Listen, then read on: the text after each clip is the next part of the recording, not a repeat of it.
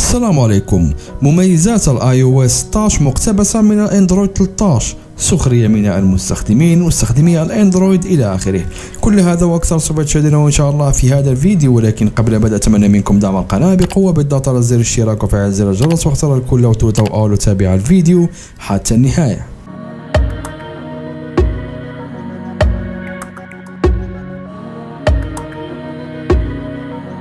مثل كل عام وبعد الإعلان عن الآيفون الجديد تنهال الاتهامات على شركة آبل. من قبل مستخدمي وعشاق الأندرويد بأن آبل تقتبس مميزات هواتف الأندرويد وتنقلها إلى الآيفون. فماذا يتهمون الآيفون هذه المرة؟ أولا الشاشة الثانوية. قدمت أبل مع الآيفون الجديد ميزة جديدة في الشاشة أطلقت عليها Dynamic Island وهي شاشة أفقية أعلى الشاشة الرئيسية لعرض المكالمات والإشعارات وبعض المهام وهي ميزة جميلة وعملية.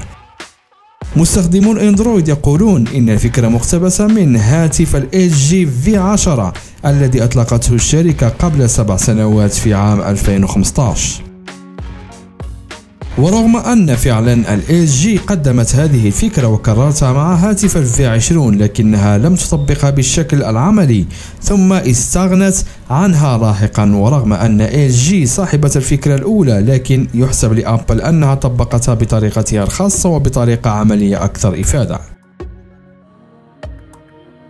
ثانيا النوتش والثقب. كان مصير النوتش لا شك الزوال وحتى لو تأخرت الشركة بالاستغناء عن النوتش واستبداله بالثقب إلا أنها خطوة جيدة وفعلتها بطريقة مشجعة. يقول مستخدمون أندرويد أن الثقب مقتبس من هواتف الأندرويد والتي ابتكرتها سامسونج وطبقتها هواوي لأول مرة مع هاتف نوفا 4 ثالثا العرض الدائم أو ال Always on Display.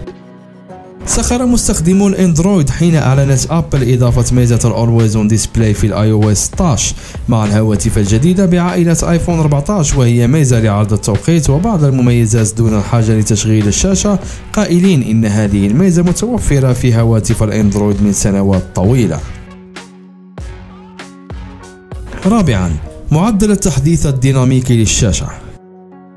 كان مستخدمو اندرويد يتمتعون بميزة معدلة أو بميزة معدلات التحديث الديناميكية للشاشة حسب طبيعة الاستخدام وأطلقت الشركة اسما جديدا للميزة وهو ProMotion وتم تقديم الميزة وكان التحديث بين 24 هرتز و 120 هرتز. الآن خفضت التحديث إلى 1 هرتز بسبب ميزة Always on Display للحفاظ على بطارية. وأما مستخدمو الأندرويد يتهمون الشركة باقتباس الميزة القديمة في هواتف الأندرويد.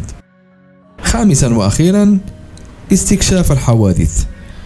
واحدة من المميزات المهمة لمساعدة الضحايا وقد أضافتها الساعة أو ساعة أبل الجديدة ويقول مستخدمو أندرويد أنها موجودة في تطبيق لجوجل صدر عام 2020 مع ميزة ال car crash detection وهي ميزة تستشعر السقوط والحوادث وتجري اتصالا فوريا بالطوارئ لوحدها دون تدخل وذلك عبر حساس للاستشعار بالسقوط.